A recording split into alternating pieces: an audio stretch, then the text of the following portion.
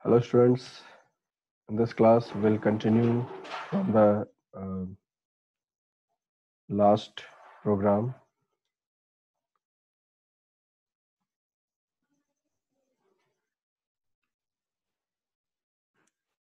So our last program was very simple.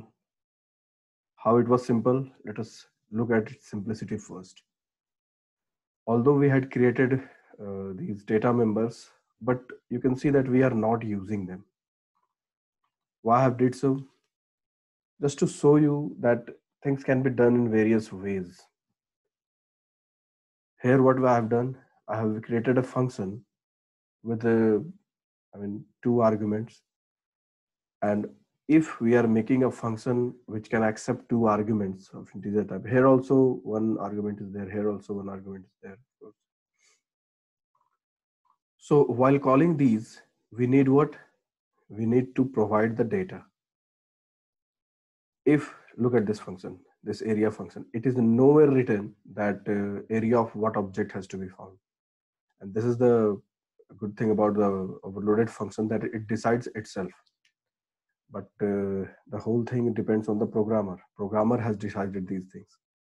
So look at this area function, this function, as well as this function. Hmm? First, let us analyze this one.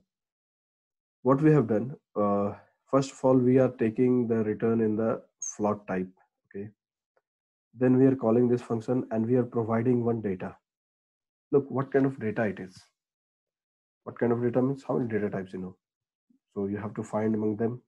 Is it integer? It is short, is it byte or something? So the same way, compilers also decide which function, which overloaded function has to be called. It decides what kind of data it is, and it matches matches. Is this is that function invocation matches this? So the answer will be no. Is this invo uh, matches this? Yes, this match this. So now this function will be chosen and this will be called overloaded. This overloaded function will be called and what operation uh, as a programmer what operation I have given to it this operation that make just a local variable AR and do this operation. And this is what this is a formula of area of a circle pi r square. So from where did it got the value of r1 so this is the good thing. This 5.6 no? This value is passed is passed on to r1 this is what it happens. You have to take keep this in, in your mind always if you are making a such function which are ready to accept argument then you'll have to give argument. This is actual argument actual parameter also we say this. This get passed on to r1 now r1's value has become 5.6 f simple small or capital f represent float. And now operation 22 I into 5.6 into 5. This is making r square. And then AR contains the value of this operation, I mean the area of this, and this AR is getting returned. And what happens when it returns? The value of AR get assigned to AOC, area of circle. This variable name we have chosen. So this is how we got this area. The same way, look at this six and five. They are two integer type. So out of these three, which best suits so this paste suits. So this function will be executed and this time we have made a local variable error. What it is doing L1 into B1. Now from where the L1 and B1 value is coming from the invocation part, this 6 become the value of L1 and 5 become the value of B1. And L into B is the formula of the area of a rectangle and this is how it is calculated. And the same we are calling this 7 and 8 then 7 and 8 means what? 7 and 8 means, look at this. One second. This 6 and 5 is there, okay? But what kind of return we are taking? This is return uh, float, uh, float. We have to take care of this. So with the function which is returning float, uh, by just watching this uh, 6 and 5 uh, I decided that this function will be there, but I have not seen the return. That, that, mistake I made, but compiler does not make this mistake. So you'll have to find such a method which accepts two such argument and it returns this way, float. So you'll find this suits. Hmm? This will be called. And lastly this. So let us once uh, execute this program and then we try to understand this in a better way. That helps us to understand things in proper way. These such things take time so you also give time to understand.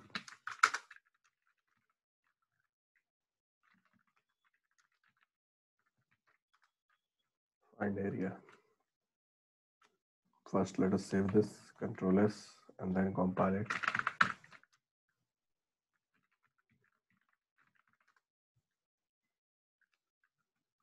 Yes, no error.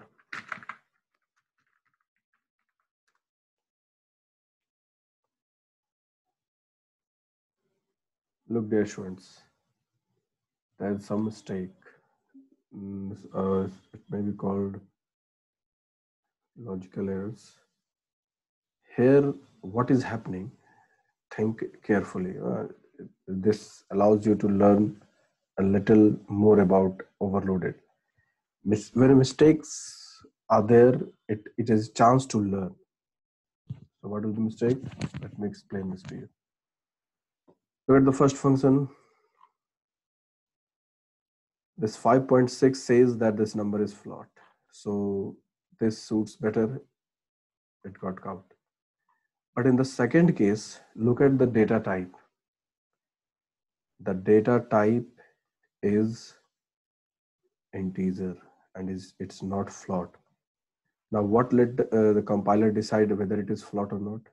The point, the floating point or six point if it would be six point something or five point something then right now it is integer so which suits it this this only suits okay so i would like to add add here one thing that uh, the argument basically uh, helps the compiler to decide which function which overloaded function has to be chosen so here these two are integers.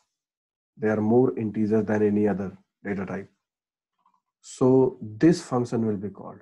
Although, although uh, AOT I have written, it simply means that I wanted to call area of triangle.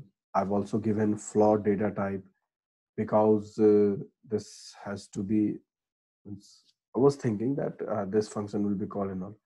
But while passing on or giving the argument, a simple mistake was done. Two integers were given. And now what is happening? What is happening? This AOT,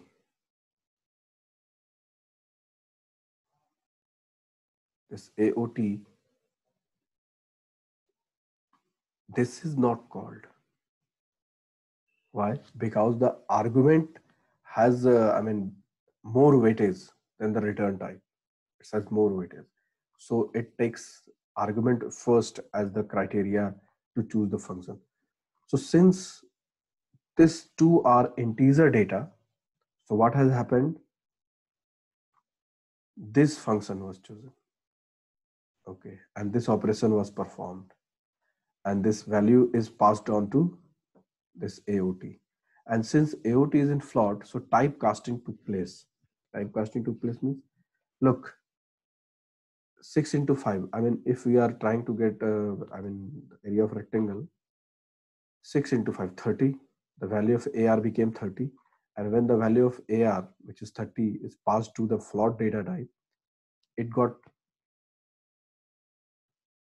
implicitly converted to float and therefore the value of aot is not 30 it is 30.0 now look at the output where we are outputting AOT. AOT is outputted in the third line. third output is the area of triangle. Look at this. The area of triangle is 30. Why it is calculating 30? Because this function, actually it is calculating the area of rectangle. Why so? Because of the wrong, I mean, I should have given here point 6.0 if I'll give now. If I'll correct the mistake, 6.0 and 5.0. Now look at it.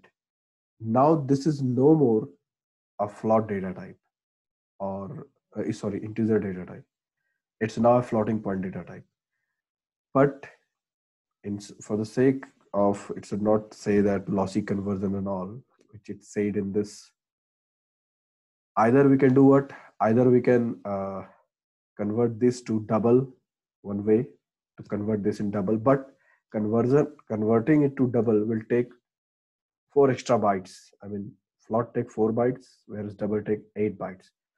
So if the if you need a better precision and if the calculation is going to be very very large, then of course you use double.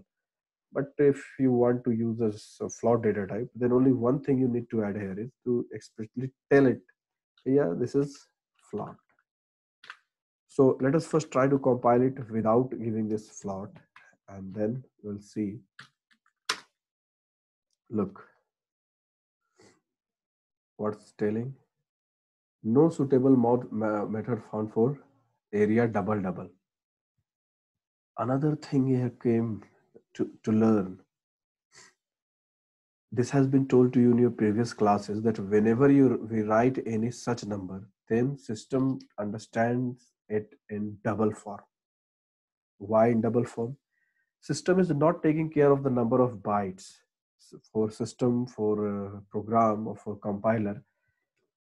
The the data is more important than the number of bytes it is taking. Why I'm saying so? Data is more important. Look, 6.0 is being treated as double by default. Why it is being treated as double so that any loss of data should not happen in it with it. Any loss of data. Double has the uh, very large uh, capacity as well as the precision. So by default it treats all such data the data with a point as double. But we have not made any function to accept double. We have made function to accept float.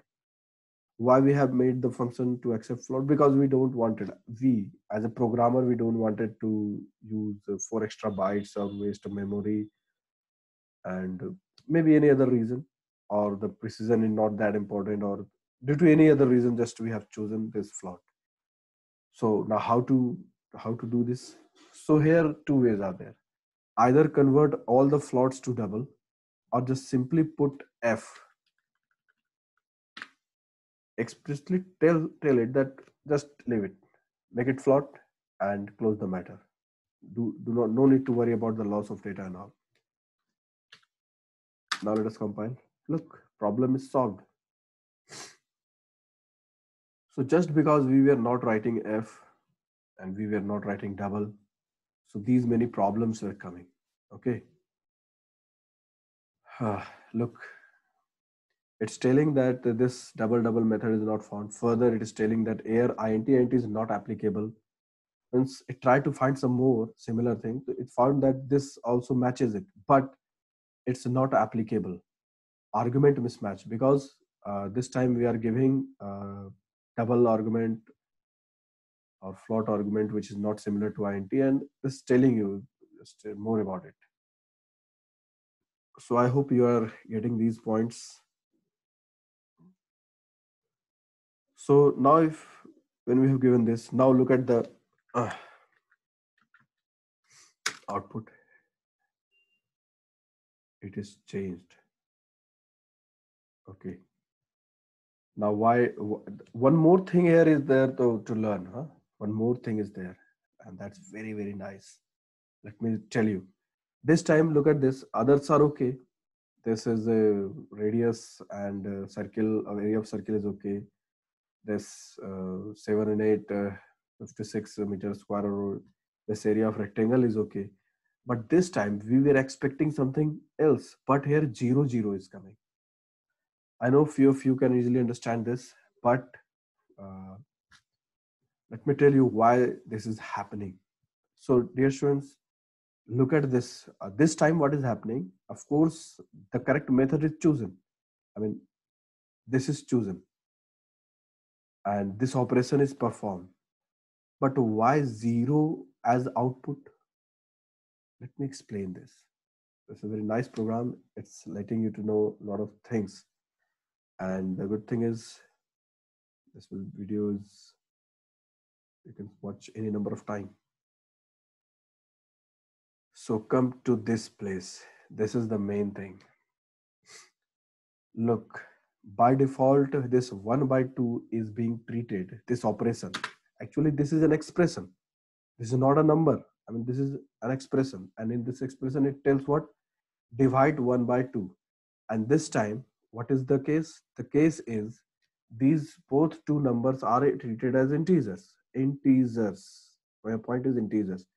So once we divide 1 by 2, the answer comes 0.5, of course. But since it is integer, so there is no place of 0.5 or point after point anything. There is no point. It takes the integer part only. So after the completion of this operation, what is the main result? The result is 0.5. But it takes only the integer part. Why? Because this, this both the numbers are integer. Now, who uh, decided that these are integer? Of course, this is integer. One is integer, two integer. Where is the floating point? Where is the point? If point would be there, then it would maybe treated as uh, integers. But now, right now, there is no point. So it is treated as integers. And so after the operation, it is taking the integer part only. And the integer part is zero. The complete answer is 0.5, but 0.5 will not be taken, only zero will be taken. Now this, this whole operation becomes what? Zero into this into this. And if 0 is multiplied with any number then it gives 0 as the result. And there this is the reason why 0 is coming here. So these minor things also helps you to make a good program. So what things we can do? There are a lot of things that we can do with it. So let us begin with simple one. Let us write it 0 although now it will treat it as double but let us see what happens there also there is chances of um, uh, errors but let us see. If you'll see uh, 1.0 and 2.0 now it has become a floating point number. Now let us once again see. Okay this was expected. And now as a good student you might be also wondering of this uh, error that possibly lossy conversion. Now what is the thing? The thing is this is in again treated as double. But what we are doing we are getting the result in float so either uh, convert this in float double or what? Let us see, see the solution. Double. But uh, again, uh, there will be a lot of confusion because the return we are taking is in float. So there may be error. We'll have to change every data type to double. But if we are rigid that no, we have to use float, then what? Then one simple thing you can just do, put F, put F in them and let us see the result now error solved. Now the result is also correct.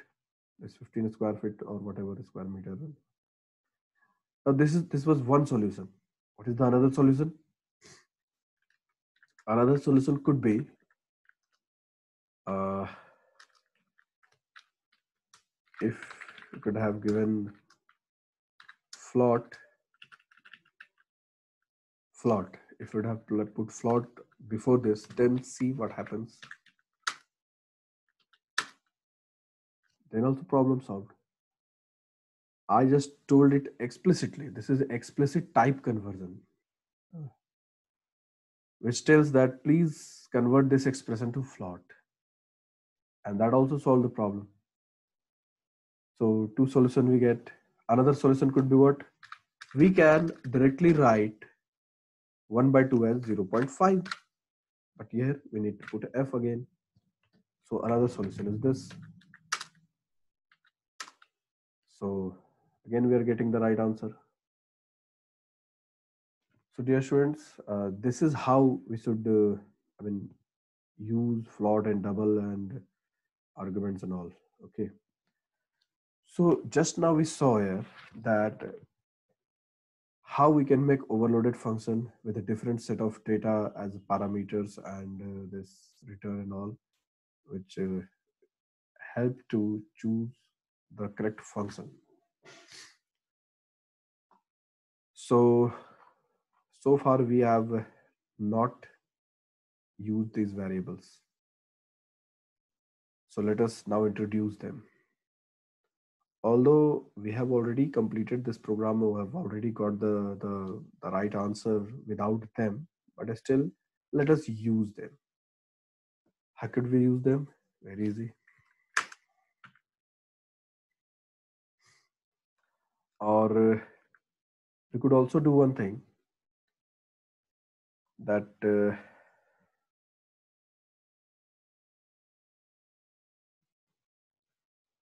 we can use uh, a constructor also here. But uh, constructor will use uh, in the next class first let us simply use these variables huh? so very simple very simple. Look at uh, look at this. What we can do simply is instead of directly using these values in the operation what we are doing here we can we could have done what we could have assigned L as L1 and B as B1. Means we are doing what? Since these are the data members, so whichever object we'll be creating, an extra copy, that copy of these set of data will be created along with them. So once we are passing the values like uh, which one? Int int int no? This one. Then 7 and 8 will become the value of l1 and b1 and that 7 that l1 will be passed on to l. Is getting assigned to l? Now which is the object? Here ob1 is the object. So ob1 l1 value will become 7 and ob1 b become l l become uh, 7 and b will become 8 due to this uh, this may be a little confusing to few of you, but if you'll practice, then this thing will become easy for you. So here what we're doing, here just we are simply uh, involving these data. Although there is no need, in this case at least, there is no need, but we are involving just to see, yes, this is the another way we, in which we can use this. And uh, instead of writing L1 and B1 directly, we can write LNB. Now this is this LNB which is being used in this program. Okay. Let us save it and check it out. What happens? Nothing. Same thing. But now these two more extra operations are added in this. So let us do this with all the here R, this R let us assign this value r1 and instead of r1 using r directly we shall use this. In the same way we can assign to h1 and bs equals b1 this is h and bs and yes can use them? Now with uh, uh, by making these differences right now we are now involving these also in the functions. And this is the good thing that we should always do. But i show you that we can we could have made the program without them also or with them also. The result is same. There's no difference. Some error is there simple error so let us resolve it. Any more such errors? Yes terminator is missing Okay. So fine, this is working. So this is one way of doing. One more thing we could have we should have done here is we could input the data as well. Right now we are simply passing on the values. But what if we want uh, the input from the user. The user will feed uh, the dimension of the various figures and then it will tell us the, the total area and whatever. So that thing we'll see in our uh, last uh, next class, of course, because uh, the time is getting over. So thank you students. Watch this video and ask questions